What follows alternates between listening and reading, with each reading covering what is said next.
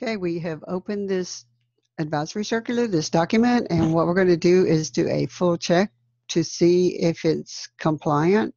I actually have it on my toolbar over here, but if you do not have it, you can go to Tools, scroll down till you get to Protect and Standardize, and it's right there. You just open it, or you can save it onto your right-hand toolbar. You can see that it's open right across here. We're going to do a full check. Start checking. And we look at that and we go, oh my word, what a mess that we're going to have. So another way to fix this, instead of going through and correcting every one of these different items, because that's just a lot right there, is to close this accessibility toolbar, go to your tools, scroll down to your customized, find your action wizard, and go ahead and open it. And you can see my action wizard is across here. The action that I'm going to do is I'm going to make it accessible. So click that. Here's the file that I'm working on. And we go ahead and press start. The first thing that pops up is the description I have not fixed that one, so we are going to have to correct this. We're unchecking leave as is. We're going to name this, the title is uh, AC 2173.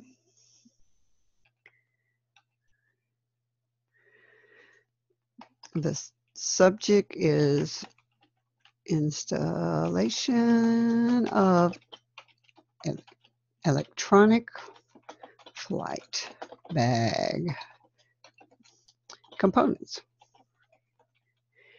And the author is actually just going to be Air 150.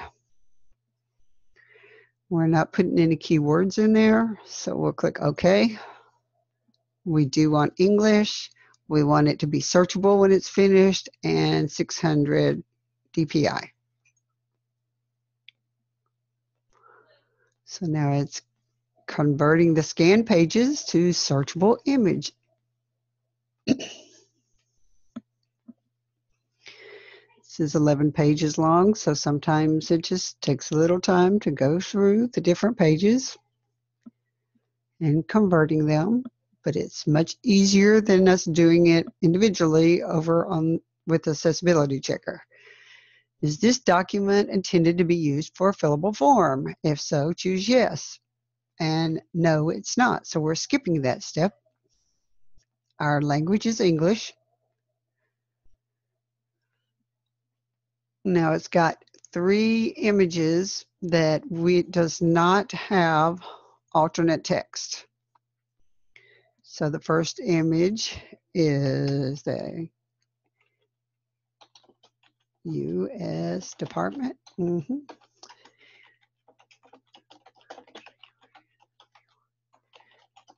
This is the U.S. Department of Transportation seal. It is not a logo, it's a seal.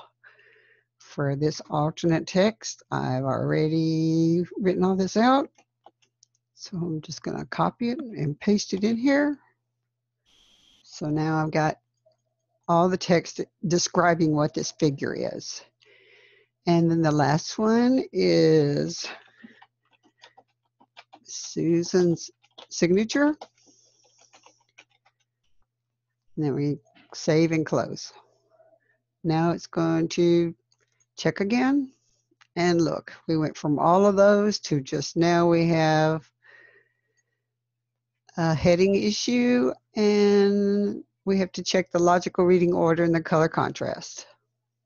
Much easier than it would be if we did it step by step. So we might as well go ahead and check this heading, show in text panel. Okay, so this is heading one, and the next heading is heading four. This really should not be heading four, it should be heading two. And then it makes you wonder if any of the rest of these are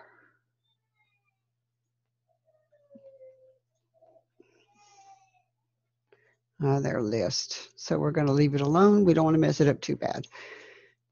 Check again. That's all fine. Logical reading order. We're going to open that up and we can see the figures first, Lazarus circle. And you can just go step by step with your down arrow key and see which ones are highlighted to make sure it's going in the order that you normally read things. And this one is not having any kind of problems whatsoever, which is kind of nice.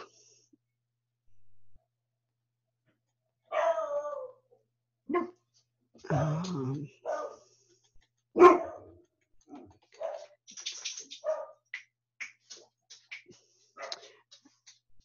back to accessibility checker. That worked, so it oh. passed.